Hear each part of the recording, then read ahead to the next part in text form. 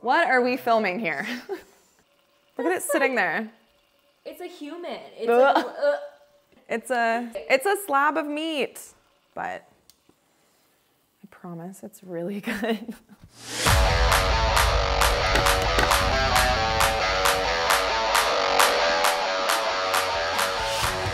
We've got a new sprayer for the hose.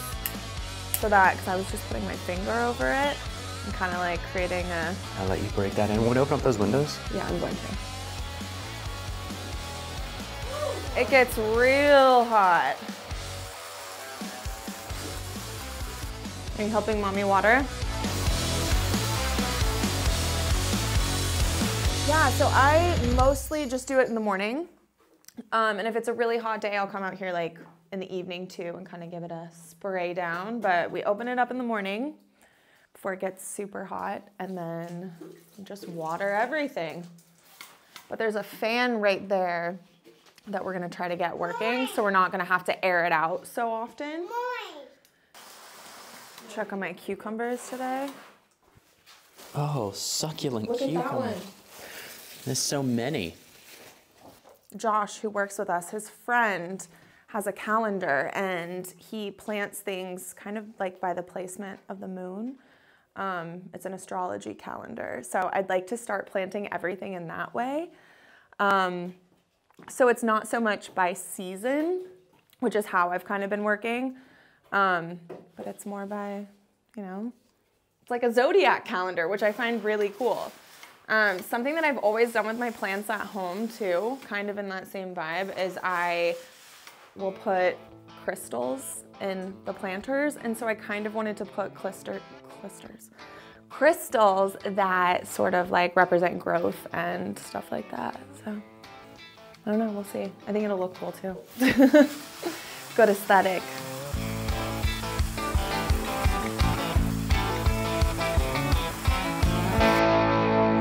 Uh, I, have, I have a car question for you.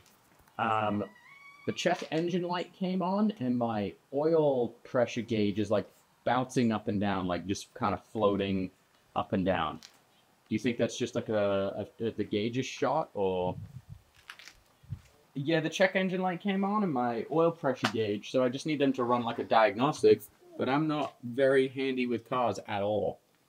Coincidentally, there is one of the top places in the country that customizes FJs is in Sandpoint. So I'm gonna just go get a diagnostic run on it, and then we'll see we'll see where we go from there.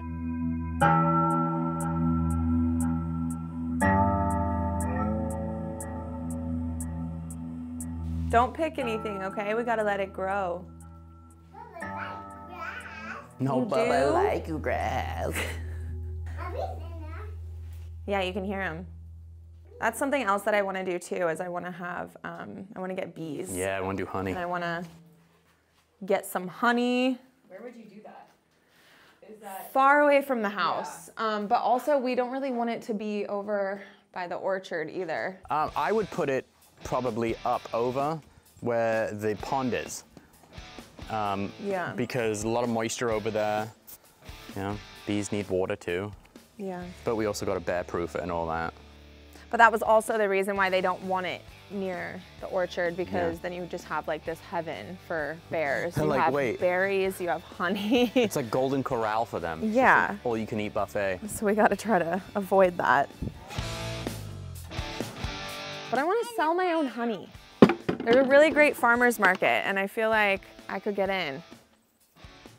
And then this is where I want the pumpkins, just along the, the side. Tonight, I'm going to make an elk pot roast from elk that Jack hunted for in the winter. And we're gonna have carrots and potatoes with it. Jack and I came up during Thanksgiving and we were just like sitting on the porch and in the distance he sees an elk. He's like, I gotta go, I gotta go get it. And so he um, actually got that elk and we, we've had it in the freezer. So we've been waiting to do something with it. I mean, he's gotten a couple in the last year or so um, and they're always huge.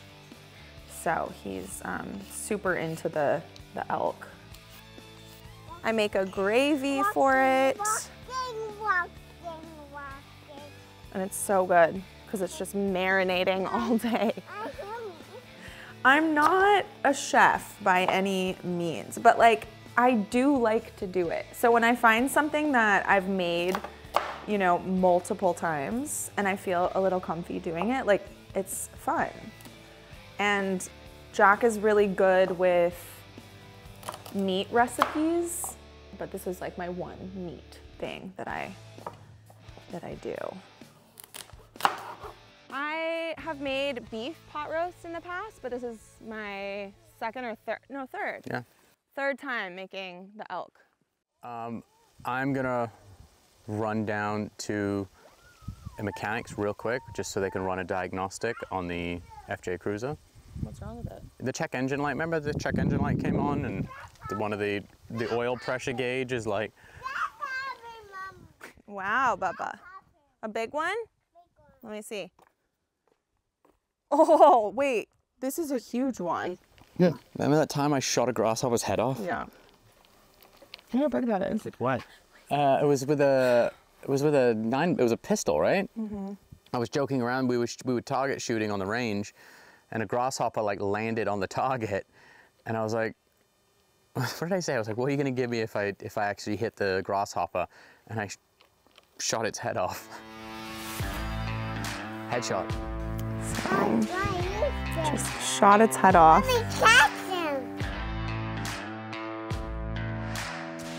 There's um, different seasons within hunting. So there's elk season, deer season, bear season. Um, so if, if they're in season, then he's he's kind of out there trying to do it.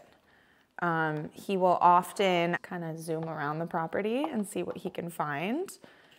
So he's always looking for something. I've gone out with him at night, not hunting. Um, when he goes hunting and he's planning on going hunting, he typically will leave at, you know, four in the morning. So I don't join in on that, but he we sometimes will cruise around at night and just see if we see anything. So I've done that before, and it is kind of scary because I think the last time we did it, we it was around midnight, and we were driving around the property and you could just hear coyotes everywhere. And we had the windshield of the side by side up, and I'm like, one's gonna, I swear, one's gonna jump in here. And there's the mountain lions, and there are also wolves in these parts. So Hey everyone, it's Jack Osbourne here, and Ghost and Grit is sponsored by BlueChew. All right, now are you ready to talk about something that can be a little hard sometimes? You know what I'm saying? You guessed it, it's sex. Let's make it a little easier for you though. Let's talk about BlueChew. Blue Chew is a service delivering chewable tablets with the same active ingredients as Viagra, Cialis, and Levitra. You can take them day or night. You sign up at bluechew.com, chat with a licensed medical provider, and once approved, you'll receive your little handy dandy delivery within days. With BlueChew, men everywhere are excited to see the postman because when your package has arrived, your package has arrived, if you know what I'm saying. BlueChew wants to help you have better sex. Discover your options today at bluechew.com. Chew it and do it. And we've got a very special deal for our listeners. Try BlueChew for free when you use our promo code GHOSTS at the checkout. You just pay $5 in shipping. That's bluechew.com, promo code GHOSTS to receive your first month free. Visit bluechew.com for more details and important safety information. And we thank BlueChew for sponsoring the podcast. I've got some friends of mine, a bunch of a bunch of guys coming up on uh, Friday to Monday. Uh, we're just doing like a little weekend, you know, male bonding hangout. Um, okay, let's I just go gotta get the rules from you know from mom before what? Saying we need to we gotta we gotta talk about what the rules are for my friends that are coming. The rules. Yeah, It's just a bunch of men gonna be hanging out here. yeah. Um, just a bunch of old guys. I don't know. You're already talking about rearranging some furniture. No, I'm so not. What was I gonna The rearrange? couch. You were gonna move the couch. Potentially, Yeah. So I think that's like. but it'll it'll go- everything will be back the way it was. when we discovered Maple had so many allergies, I was always trying to find things that we could all have as a family. It was actually kind of scary, and I feel a bit silly saying that because I know that there are way worse things that could happen as far as health goes.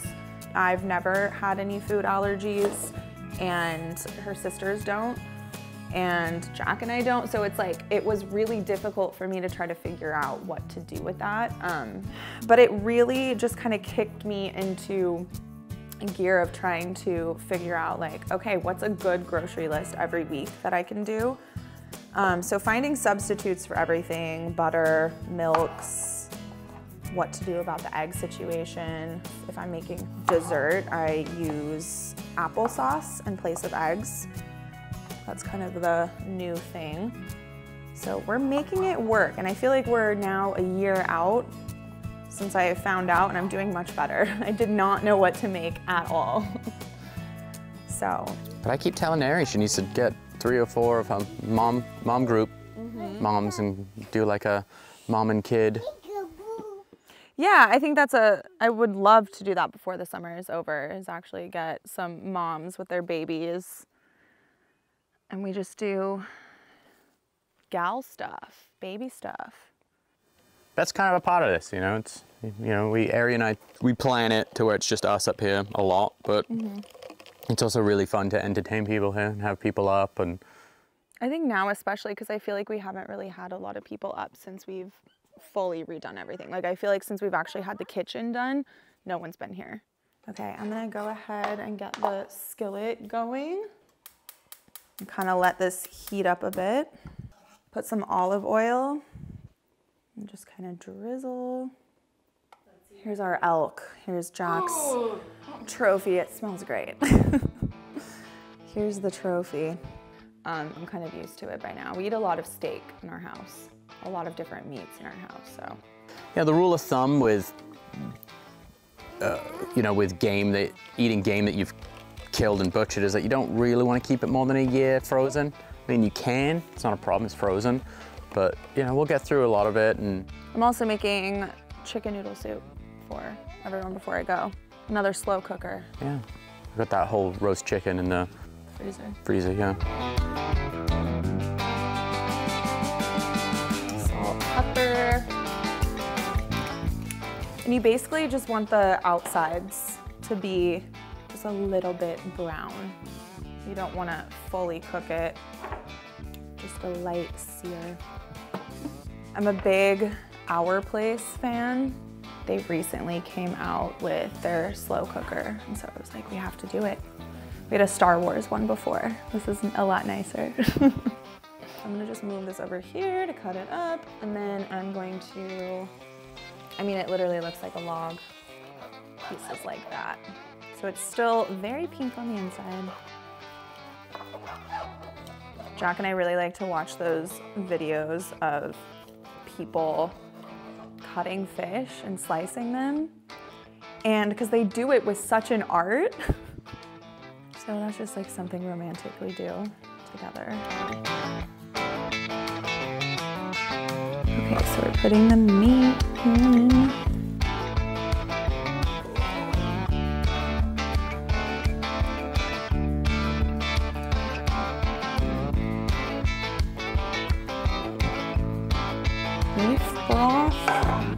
Cups of this.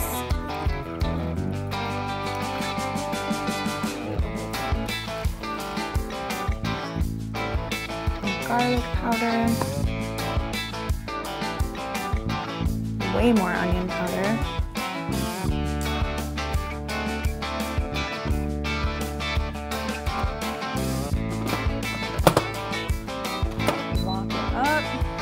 We're gonna put it on low, and then I'm gonna do eight hours, and then you press play. And then it does all the work for you. but the house is about to smell really good.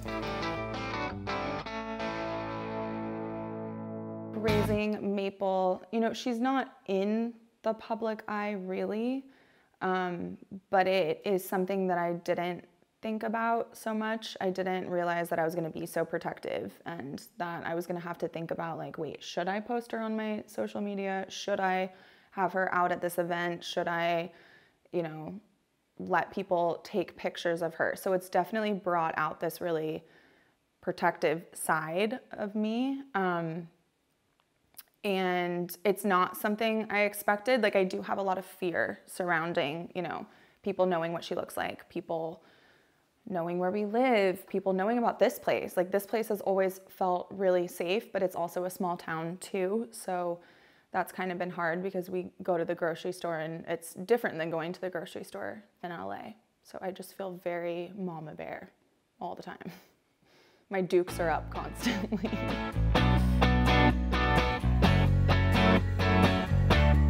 What are people's like reactions their first time when they come? I think people, they, because it's so deceiving when you kind of pull off the high, because you know, you go, you're on the highway for ages, you've just seen these like random little towns you're passing through, and then you pull off the highway, and I think it's really deceiving for people. Yeah, and I think that also we're like, yeah, we have a house and there's it's on some land, and so when people come, they're like, wait, all of this land?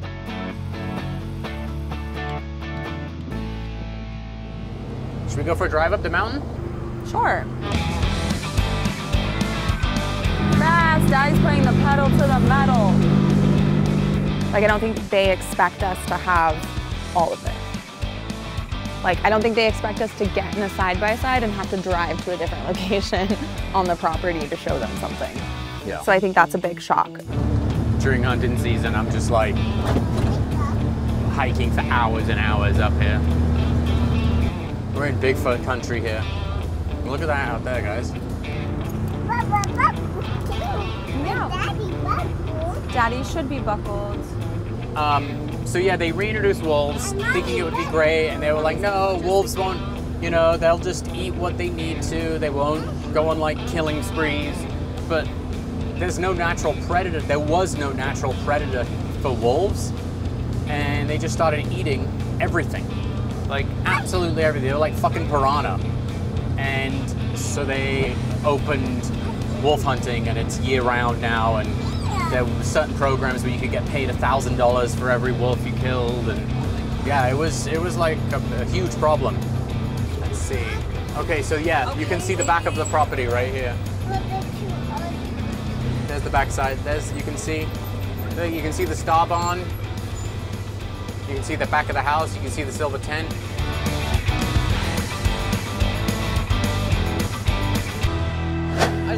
Deal as much as the next guy, but I'm not gonna crawl through a bed of hot coals just to save a few bucks. It has to be easy.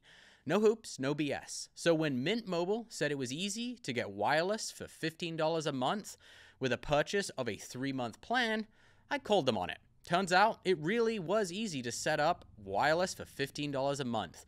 The longest part of the process was the time spent on hold waiting to break up with my old provider.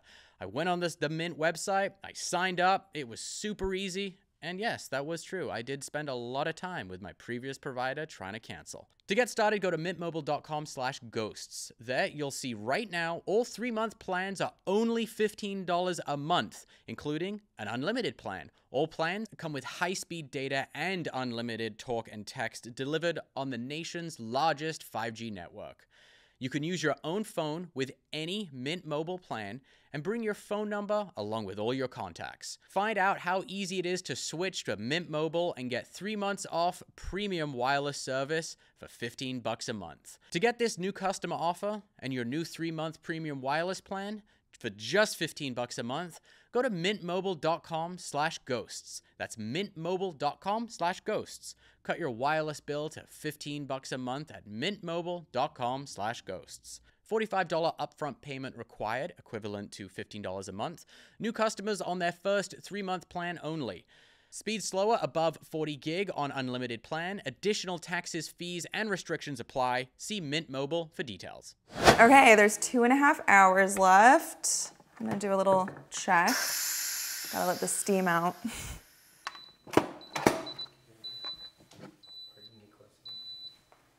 Ooh. I added some rosemary and thyme to the top just to add a little bit more uh, flavor, but we're just gonna do a little stir. Look at that broth. Let that sit for another two hours, and then it's dinner time. I think people look at Jack as like the ghost hunter or like Ozzy's son, and I feel like to give them a different perspective of he's like a big family guy, and we have four children, and we have a great relationship. Oh nope, nope, nope. Back up. There's wasps. Back up. There's bees. Lots of them. That's so weird that they just built. They must have done that in the last day or two, because that wasn't there the other day. we have a great relationship and i think that it's um, stuff that we don't really flaunt online so much so i think you know bringing cameras in and kind of taking a little look at that is going to show people a different side of all of us and it kind of completes the story of maybe who they think that he is or i am What you got grown here again? Uh, apples, cherries, and pears. I'm amazed that an apple's already started coming in.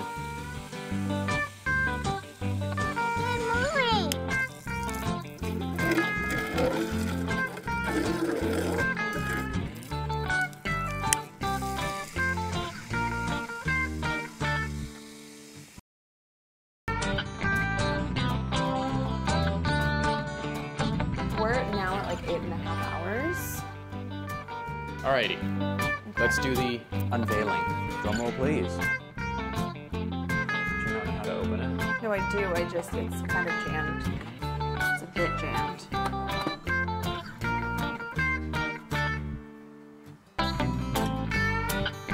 Scary, scary, huh? It is. Plants in there. Some random plants. Okay, should we bowl it up? Yeah, but we got it. Don't we have to like shred the meat? I cut it up into like little chunks. Oh, okay. Jack loves a good old man. No, no, I just no. Last time you shredded up the meat and then No, we don't need to shred meat. I don't know if I can. I can. I don't know if I can work in this environment. It's too hostile. You can smell it, right? The meat. Still girthy, but more firm. See, I like cut them like that. Now I can get a knife. You know? Mm-hmm. I feel like we kind of alternate cooking for each other kind of every day, right? Yeah. I do like to cook though. Yeah. I'm very excited about this, babe. All right. I want to. Let us feast. Okay. Want some bread? Yeah. Should we say a prayer Thank you, elk. to the spirit of the elk?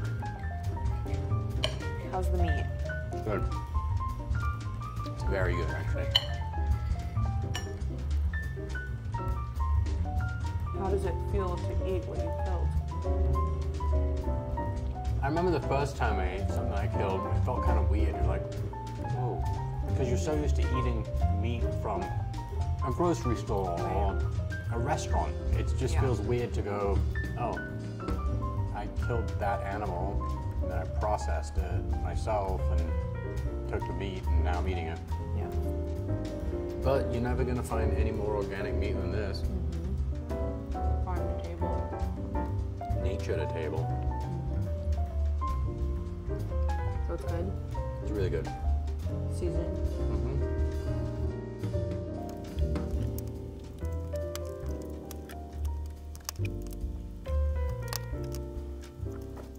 It's so clear tonight. Yeah. What's next for you guys? We're getting some electrical stuff done to wire up the greenhouse and out into the orchard. Um, so we can connect electric fences up to stop animals from going to eat all our awesome stuff. I want to do a scarecrow. you want to do a scarecrow? Um, and then we're gonna get the deck done. Put some steps. Yep. And then probably The house, the painting of the house. Yeah. Because it's just going to change the entire vibe out here. Yeah. And then eventually redo the roof. Yeah. I like that there's always a next thing too. Yeah. I love another project.